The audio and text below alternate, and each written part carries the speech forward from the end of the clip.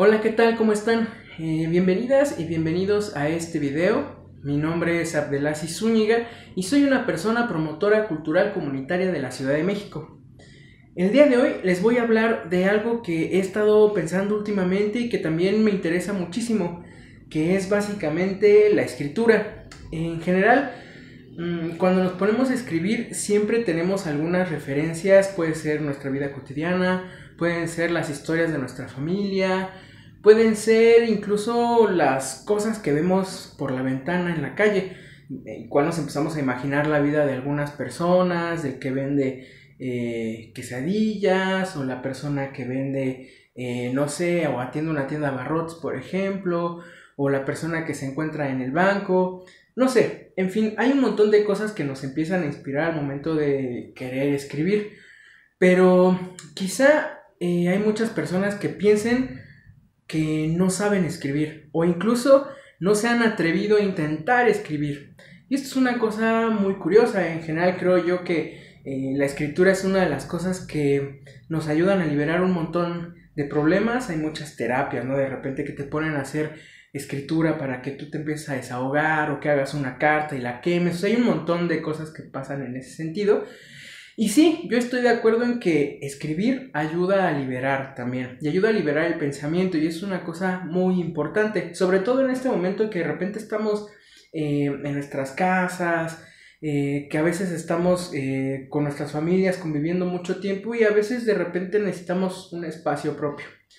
Pero también existe una posibilidad de escribir sin necesidad de empezar a elaborar oraciones demasiado profundas. Ya saben que cuando están escribiendo un poema, de repente hay personas que eh, quieren hacerlo así súper profundo y que sea eh, demasiado elaborado y tenga palabras muy rimbombantes.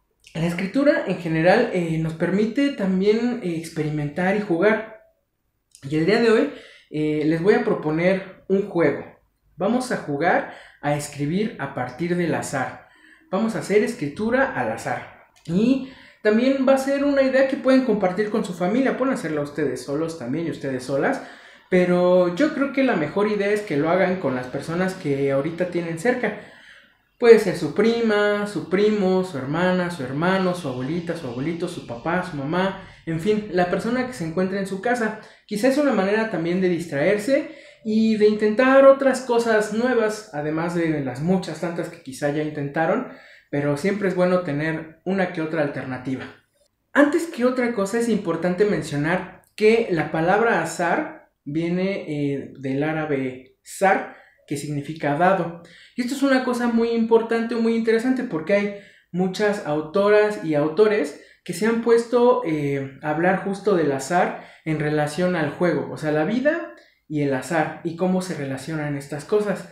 Hay algunas ah, personas que afirman que el presente incluso es un juego de azar, porque nosotros no sabemos cuál es nuestro destino, por así decirlo. ¿Ustedes qué piensan? ¿Ustedes creen que eh, la vida es un juego de azar? También, al momento de escribir, hay muchas reglas que tenemos que seguir. Eh, no sé si ustedes eh, recuerdan o en este momento están cursando la materia de español, pues recordarán que hay varias formas, estructuras y normas que deben de seguir. Incluso se habla de tener una muy buena ortografía al momento de escribir. Pero eh, en este juego que les voy a proponer, pues digamos que las palabras ya están dadas. Pero ustedes también si quisieran proponer una alternativa a este juego, pues quizá estas reglas se podrían romper y ustedes pueden generar sus propias reglas y sus propias normas. Esa es la intención del juego del día de hoy. Yo voy a proponer algunas reglas, pero ustedes pueden modificarlas y meter las que ustedes también decidan. ¿Me acompañan a verlo? Vamos. Para el ejercicio del día de hoy vamos a necesitar dados. Si no tienes en tu casa, podemos construir uno con una hoja de papel. Vamos a necesitar 5. Y el dado que propongo que realices tiene una medida de 5 centímetros. Entonces, primero hay que hacer en uno de los extremos de la hoja, una hoja carta, eh, marcas de 5 centímetros. Nuestra dimensión en el dado va a ser de 20 centímetros. Entonces eh, lo que tenemos que ir haciendo es eh, unir las líneas que atraviesan toda la hoja cada 5 centímetros. Poco a poco esto nos va a dar una especie de cuadrícula que nos va a permitir ir formando este dado.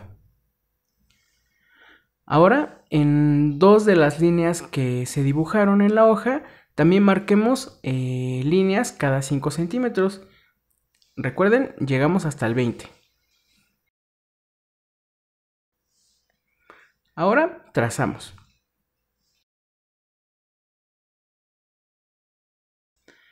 Ya que tenemos esta cuadrícula, tenemos que marcar la figura que vamos a empezar a utilizar, que es básicamente una especie de cruz. Y esto solamente como referencia. Ahora vamos a dibujar unas pestañas que nos van a permitir eh, pegar cada uno de los extremos del lado. Yo en este caso hago las pestañas a mano, pero también pueden utilizar una regla si ustedes prefieren.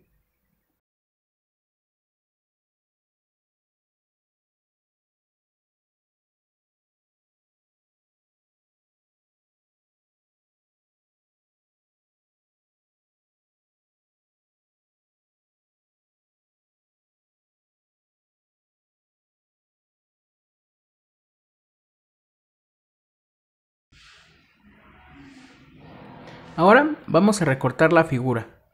Hay que ser muy precisos para que nuestro dado quede lo mejor posible.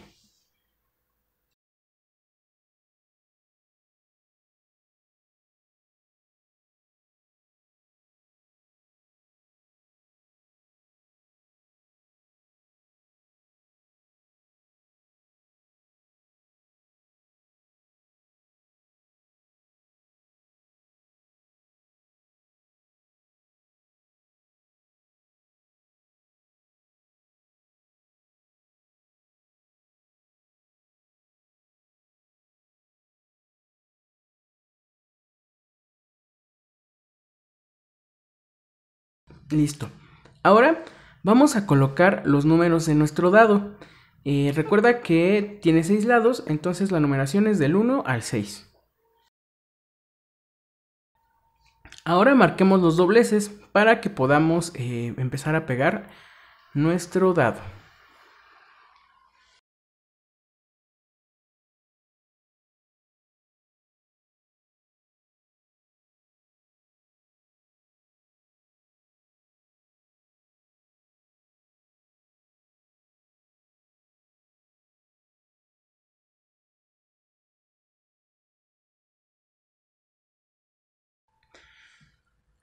Listo, ya tenemos nuestro dado. Recuerda que vamos a utilizar 5 dados.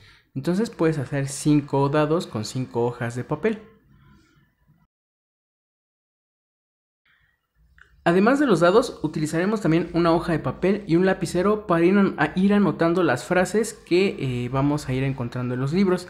En este caso voy a utilizar Tokyo Blues de Haruki Murakami, eh, de editorial Tusquets. Galaxias Explosivas, el arte de David Medalla, de Guibret, de editorial Alias. Cuentos completos de Jorge Luis Borges, del editorial de Bolsillo. 12 cuentos peregrinos de Gabriel García Márquez. De hecho, este es uno de mis primeros libros así favoritos. Y lo tuve muy pequeño, así que lo rayé un poquito. Take Mouth Electron de Tacitadin, que también es editorial Alias. Y este libro de Juan Rulfo, que es de la editorial RM, es bastante, eh, bueno, es una edición que me gusta mucho porque viene El Llano en Llamas, Pedro Páramo y El Gallo de Oro. Cada uno de nuestros dados va a jugar un papel importante en este juego. El primero nos va a permitir elegir un libro, del 1 al 6 recuerden.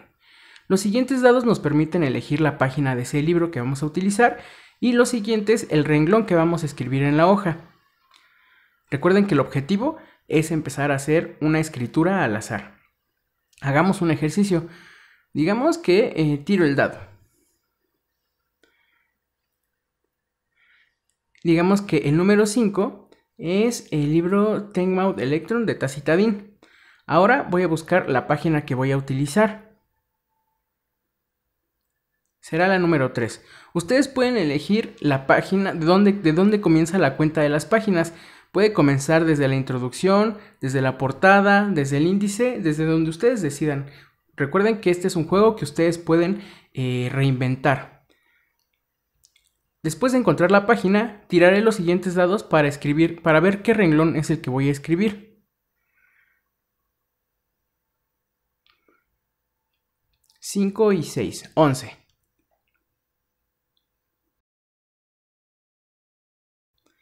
Entonces ahora cuento los renglones. 1, 2, 3, 4, 5, 6, 7, 8, 9, 10, 11. Y lo escribo.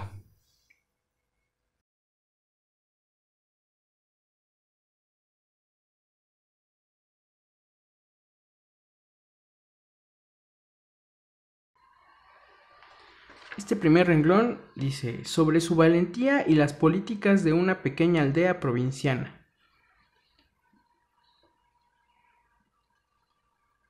¿Qué dirá el siguiente? ¿Hacemos otra prueba? A ver. Vamos a intentarlo ahora con...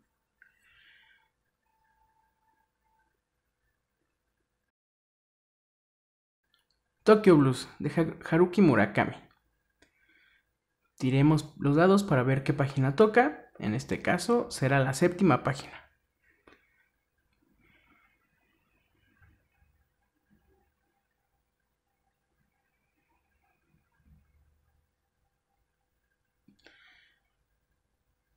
Y el cuarto renglón será el que escriba.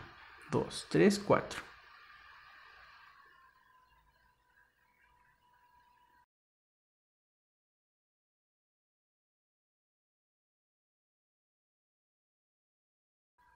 Disponía a aterrizar en el aeropuerto de Hamburgo.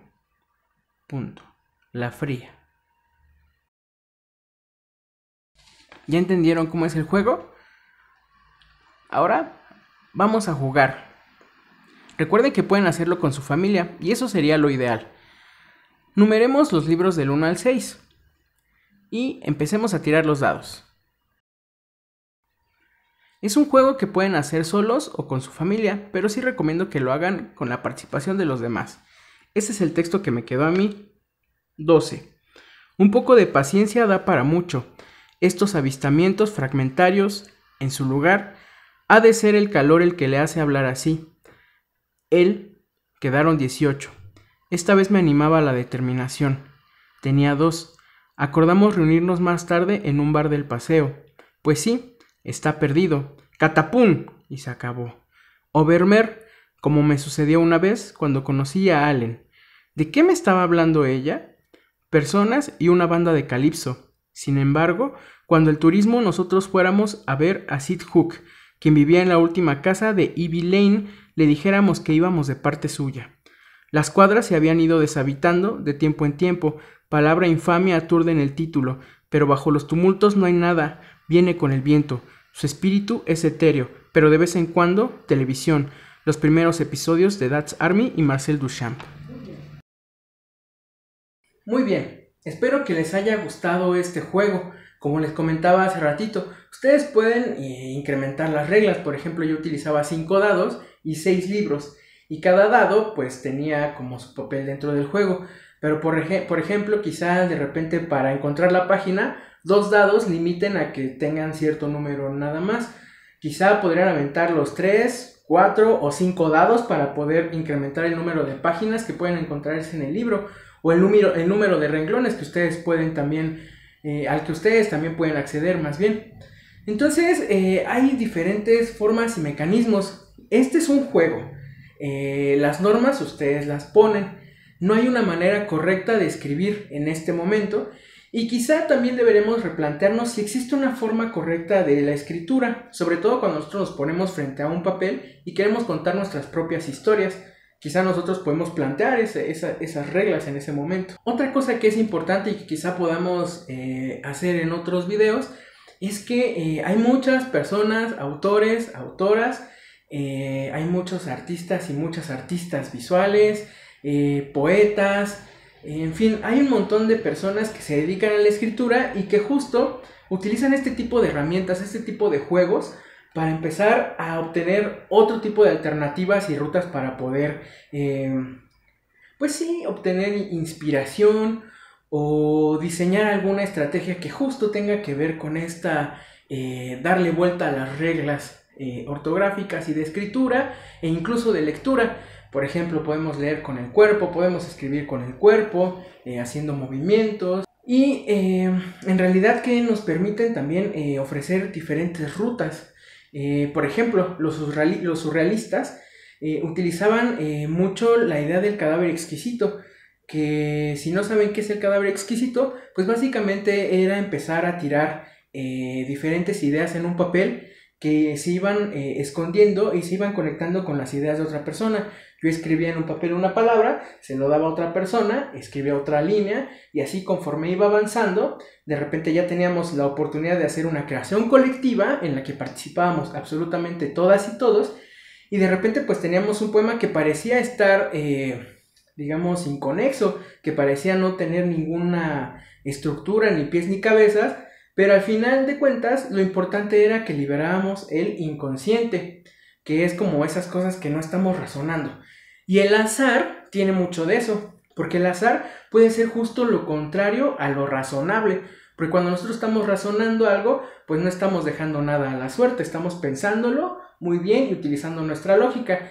Pero cuando ponemos todo en juego y al azar, pues no tenemos ningún control. Entonces, pues podría ser eso contrario.